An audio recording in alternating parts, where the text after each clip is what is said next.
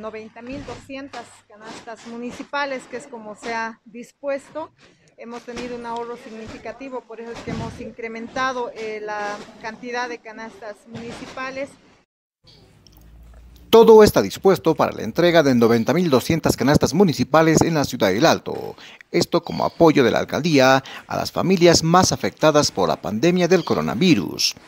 Es en ese sentido que en las últimas horas llegaron hasta el centro de convenciones en la urbe alteña los víveres que serán distribuidos en las siguientes horas a las familias beneficiarias. vamos a entregar la canasta municipal a aquellas personas que viven en nuestro municipio del Alto. Entonces vamos a hacer, por supuesto, estamos en ese trabajo de eh, identificación con una georreferenciación, pero hemos tenido también algunas preocupaciones, como por ejemplo hay algunas familias que no participan frecuentemente de las reuniones y por lo tanto estarían siendo aparentemente invalidadas de parte de, de las juntas vecinales. En esos casos se ha habilitado a la subalcaldía para que la misma pueda recepcionar en caso de que obviamente esta falta de coordinación dentro de la urbanización.